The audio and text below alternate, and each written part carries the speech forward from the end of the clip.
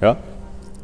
Alright guys, so during scapular pull-ups, what I see often times going wrong is that people uh, hang on top of the bar uh, and they go upwards with their head going back.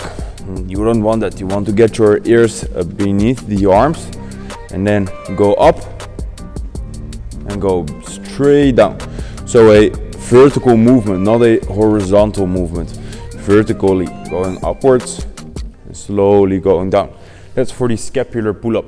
Vertical movements only. The ears beneath the arms. Slowly go down, slowly go up. This is not a, uh, uh, a workout, not a what. It's not for time. Uh, it's not max rep. So make sure that you focus on quality reps and not on uh, fast reps. So slowly, slowly go down. Slowly go up as far as you go can go. Go down as far as you can go. That's it for the scapular pull-ups, guys.